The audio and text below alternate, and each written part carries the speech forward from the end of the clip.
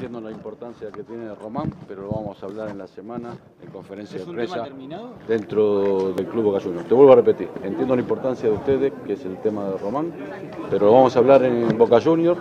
eh, la semana, antes de llegar al fin de semana, entre jueves y viernes, vamos a hacer conferencia de prensa en el club y vamos a hablar todo el tema de Román y ahí vamos a abocar toda la pregunta. La gente de Boca, yo ya hablé y lo expliqué, que nosotros hicimos el mayor de los esfuerzos para renovarle a lo que nosotros entendíamos que la gente quería el ídolo de Boca.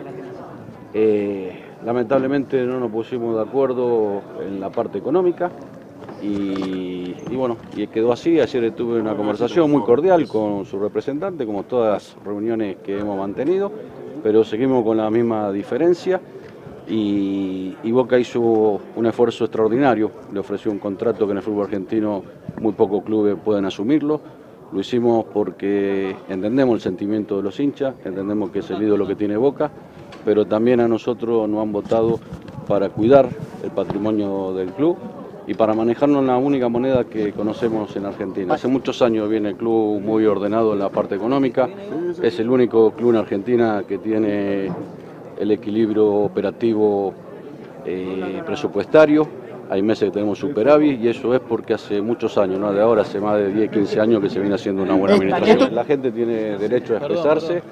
como nosotros tenemos derecho y tenemos la legitimación de tomar las decisiones que para eso nos han votado.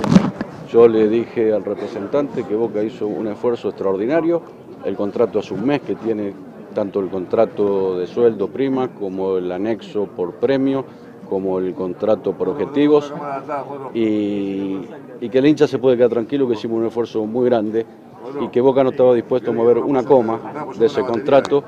y que también teníamos un fastidio generalizado porque la segunda vez que no se hace una pretemporada. Y nosotros entendemos que es un gran jugador, que es el ídolo de Boca,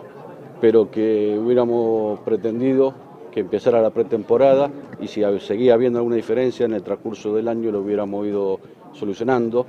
porque si no se malinterpreta a veces lo dicho,